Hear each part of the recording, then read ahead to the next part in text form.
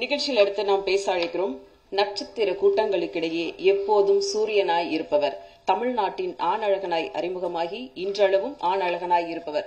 நக்மா முதல் நமிதா வரை அன்பால் நனைந்தவர் நனைத்தவர். ஊரை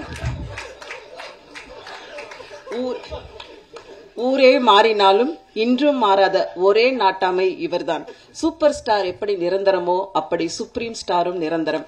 வாரிசுக்காக வாழ்த்த வந்திருக்கும் எங்கள் எளிமை நாயகன் சுப்ரீம் ஸ்டார் சரத்குமார் அவர்களை உங்கள் முன் பேச அழைக்கிறோம். பத்திரிகையாளர்களுக்கு நல்ல செய்தி கொடுத்த கவிதா அவர்களுக்கு முதல்ல என்னுடைய நன்றிதலை தெரிவித்துக் கொள்கின்றேன். பேர் சொன்னாலும் சொல்ல நக்மாவும் நமிதாவும் சேர்ந்து சொல்லிட்டு போயிட்டாங்க. மற்றவங்களாம் வருத்தப்படுவாங்க.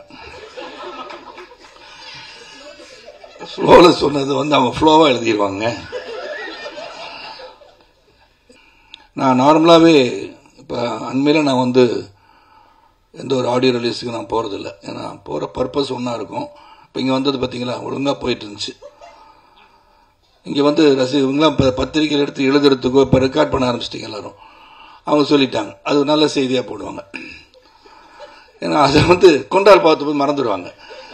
சரத்குமார் கலந்து கொண்ட கொண்டால் பாவம் படத்தில் அவரை வரவேற்கும் போது நக்மா முதல் நமிதா வரை பேசினார்கள். அது செய்தி நான் தான் சொல்கிறேன் நானும் பத்திரிக்கையாளன் தானே.